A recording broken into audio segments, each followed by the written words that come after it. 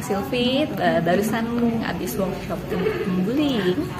Jadi kita dijelasin uh, tentang definisi bullying itu seperti apa, uh, tindakan preventifnya seperti apa, dan juga solusinya nanti jika amit-amit ya anak kita mengalami hal itu kita harus seperti apa gitu. Uh, jadi uh, sebelum uh, adanya bullying untuk anak kita, kita harus punya ilmu dulu lah untuk menangani seperti apa.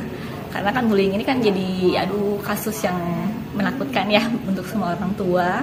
Tapi so far habis dari acara ini jadi kita punya perbekalan untuk ke depannya seperti apa gitu. Makasih ya. Hai. Um, terima kasih pertama-tama tuh untuk Children Cafe luar biasa ilmunya yang kita dapat pada hari ini. Gak nyangka ya bisa jadi uh, bisa dapat pencerahan untuk kita ke depannya dalam mendidik anak-anak gitu ya.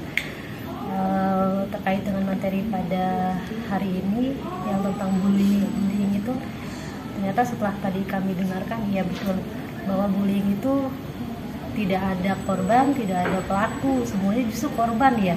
Korban dari hal-hal um, yang terjadi di rumah Nah ini yang perlu tadi dapat masukan ya. Jangan-jangan justru kita nih sebagai orang tua ya. Pelaku bullying, pelaku bullying sesungguhnya kan. Kadang tanpa kita sadari ya itu. Mungkin uh, tadi sampai juga kan kayak dari pembicara Kak Meita bilang uh, tujuannya ingin menyemangati tapi salah konsep ya. Kayak tadi misalnya uh, ah masa gitu aja nggak bisa? Walaupun endingnya ada kata-kata ayo kamu pasti bisa. Tapi kata-kata depannya itu loh. Ya jangan-jangan itu bikin anak yang justru itu tanpa kita sadari itu adalah bullying. Dan itu sering banget orang tua lakukan termasuk kami gitu ya. Iya nggak sih pak? Iya. Ya mungkin dari hal ini dari ilmu yang kita dapatkan hari ini itu jadi bahan kita untuk berbenah gitu ya. Mudah-mudahan hal-hal kata-kata yang menurut kita itu justru ingin niatnya membangun tidak kita lakukan lagi ya. Lebih ya udah kalau memang mau niatnya mau kamu pasti bisa ya langsung aja langsung kamu pasti bisa gitu. Nggak yeah. perlu ada kata-kata negatifnya dulu gitu.